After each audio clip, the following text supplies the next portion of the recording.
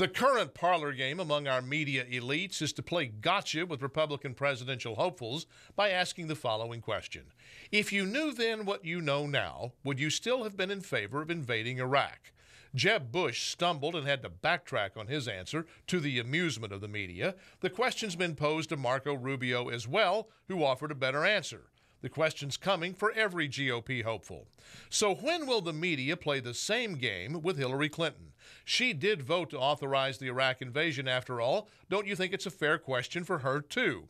But let's don't stop with Iraq. If we're going to engage in an academic exercise intended solely to put candidates on the spot, let's ask Hillary if you knew then what you know now, would you still support the $800 billion plus stimulus bill? If you knew then what you know now, would you have handled the relationship with Russia's Vladimir Putin any differently? If you knew then what you know now, would you have supported Obamacare? If you knew then what you know now, would you still have been in favor of completely withdrawing from Iraq? Democrats and the liberal media have made a cottage industry out of second guessing George W. Bush for invading Iraq.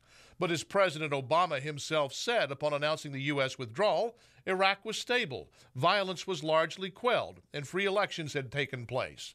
We had achieved success in Iraq. Can the same be said for any aspect of the Obama administration? When will someone ask Hillary Clinton that question?